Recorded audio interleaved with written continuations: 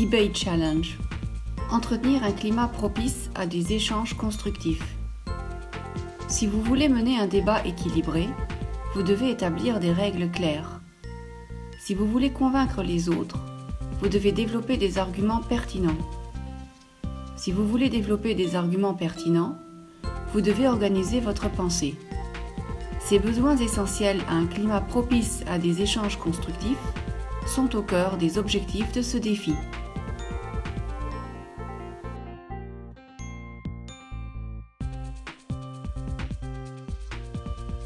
En utilisant la Philosophy Box, les élèves d'école primaire sont encouragés à laisser leurs esprits vagabonder et à partager leurs idées.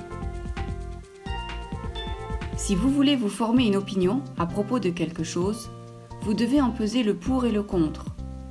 En société, les personnes ont souvent des opinions différentes.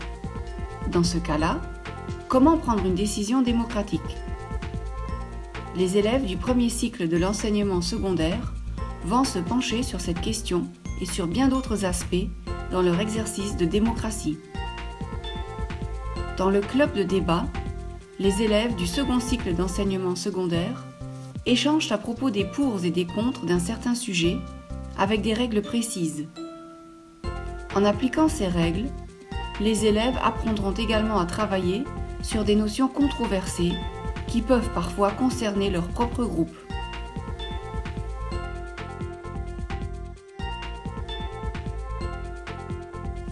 Selon le modèle TRIO, le Debate Challenge est une composante essentielle de la formation civique entrepreneuriale parce qu'il encourage le développement d'une culture basée sur la responsabilité, l'autonomie, l'indépendance et la solidarité.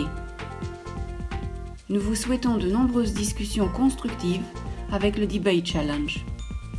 Pour plus d'informations et de documentation, rendez-vous sur notre site www.youstart.eu.